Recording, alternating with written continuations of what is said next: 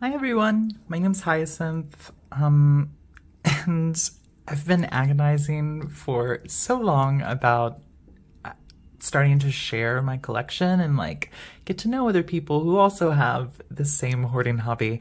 Um, and so I've been agonizing about making this video and I finally just told myself, just do it. And who cares if it's like great and a masterpiece like these pieces, but at least to me, they're masterpieces. Um, so here we go. Um, I just chose five pieces from my collection and I figured that I would share them. So let me move them out of the way and we will start the last one I leave. Um, so this is a sterling silver hair clip, a claw clip. Um, you can put it in your hair. Um, obviously you can't see my hair right now, so we aren't doing that. Um, so this is a sterling silver clock clip. I got it as a gift for my partner. Um, I had seen some, I think it's by a designer. Her name's Pat Areias. She makes like modern concho belts or contemporary concho belts um, and a variety of other goods in sterling and leather. Um, and so my partner surprised me with this as a gift. Um, it is marked 925 in 2015.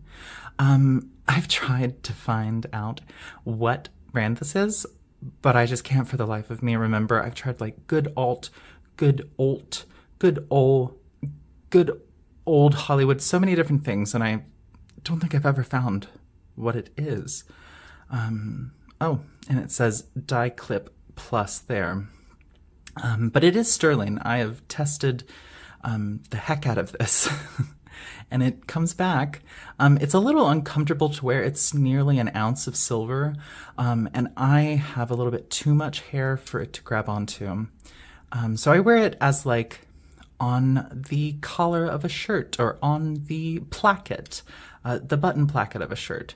Um, and so I still get to enjoy it, even though it's a little impractical to wear in my hair because this silver is so it's a very thick gauge. Um, I love the cut work. I love that the light passes through it. I guess it's not cut work because this is such a heavy gauge. Um, it's probably die stamped. There we go.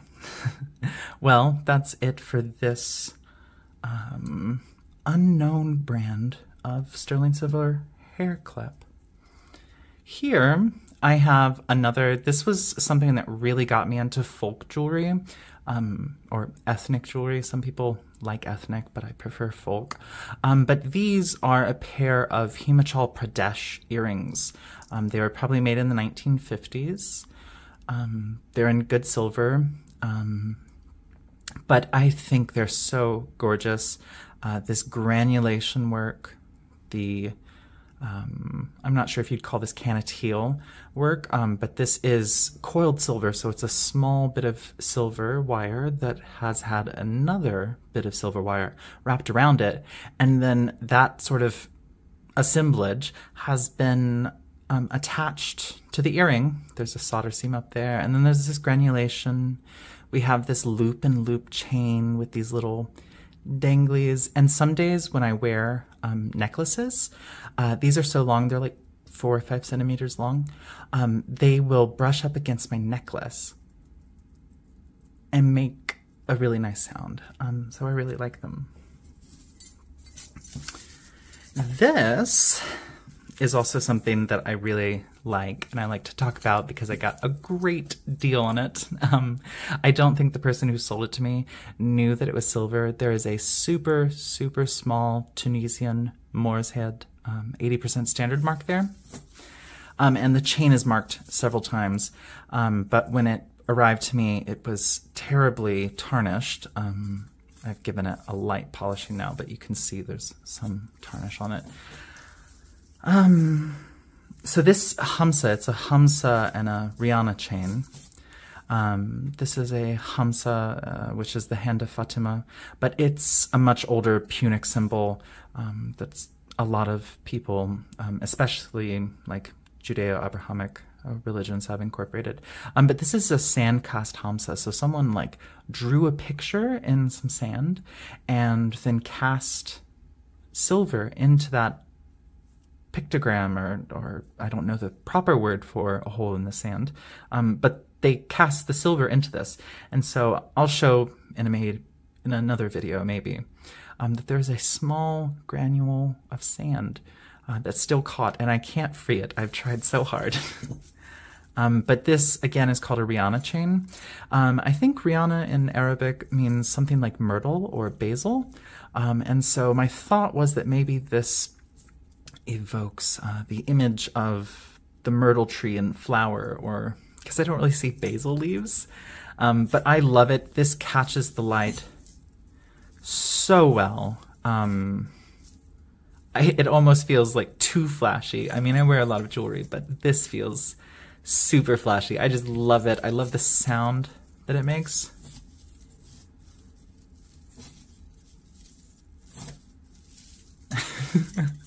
Anyways, uh, Tunisian silver um, Hamsa and Rihanna chain. Um, and so this, the biggest, um, this is a 1907 made in Birmingham or Birmingham. Comment if I'm wrong um, in pronouncing that. And uh, actually, you can't really see the maker's mark here, but I'm pretty sure that this was made by Boots Drug, uh, which is like I think they're like a big chain in the UK. Um, but this is a uh, silver and tortoise shell uh, hogs or boar bristle brush. Um, I use this whenever I like am brushing my hair. I love it around my scalp. Um, so I bought this from a guy in the UK um, off of eBay, and this was so dehydrated and so battered when I received it that you couldn't tell that it was tortoiseshell. And when I finally realized that it was in, that it was tortoiseshell, I mean, I was just shocked because I thought that this stuff was like illegal to buy and sell. Um, I did not buy it with knowing that it was tortoiseshell. I thought that this was just black wood um, with this nice, I believe it's called piqué work. Um, so 1907, that's like, I guess, Art Nouveau, the end of Art Nouveau. Um, I think this bow sort of points that points to that. Um, and but it's, I guess, if you class things by who the British monarch at the time was, it's Edwardian. Um, so I don't, I don't know too much about those things, and so I, I won't speak about it. But I love it. Um, it is very thin silver plate, but it's filled with a sort of cement or a plaster to give it weight. Um, if this was made out of solid silver, it would be much, much heavier. Um, but the bristles are still in great shape.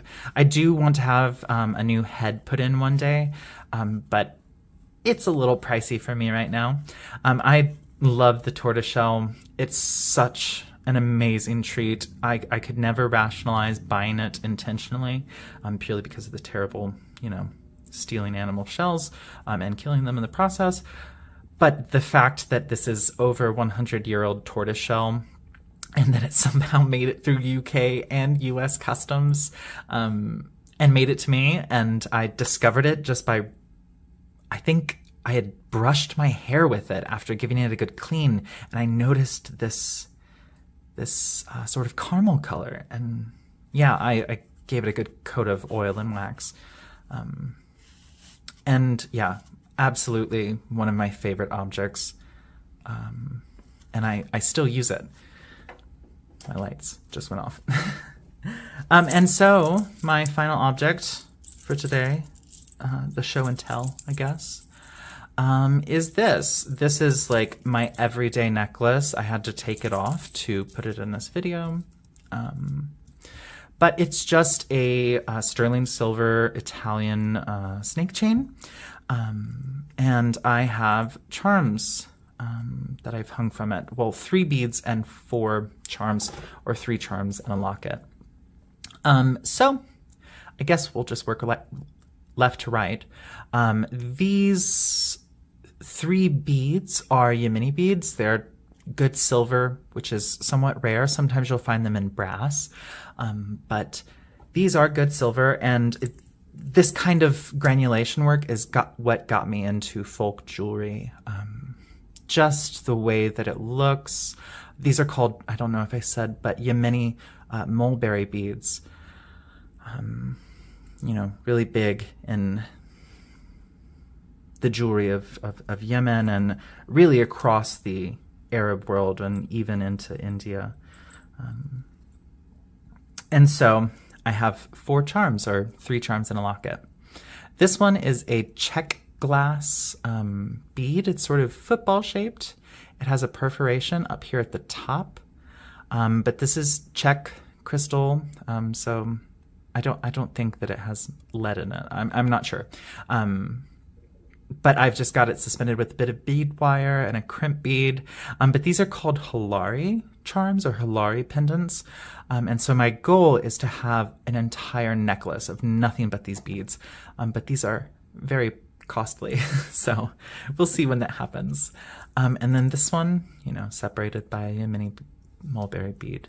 This is a six-fold, maybe 1930s, 1940s uh, sterling silver locket of mine. It's got a great uh, sponsor mark or maker's mark, um, and there's also a purity mark there too. Um, but it's a six-fold locket. I don't use it as a locket. Um, and I've seen a lot of these, but I've never seen one with this sort of helical or infinity sign lock um, or clasp. Um, and so I've always really liked it because I haven't seen another one that looks quite like it. Um, yeah, and it sort of reminds me of, I never read Harry Potter, but um, what do you call it? The snitch? I don't want to say the wrong thing. Um, but there is that. And it's one of my favorite charms. It was one of my first, like, jewelry purchases for myself, um, which has led me to where I am at now. um, this one is another, I love this thing. I have loved it since the moment I got it. I will, um, hopefully I can link the, the, the woman who sold this to me. Um, she owns a store called Bead Paradise. Um, I think her first name is Ruth. Um, but this, I don't know if there is a Indian name for it, um, or you know whatever language.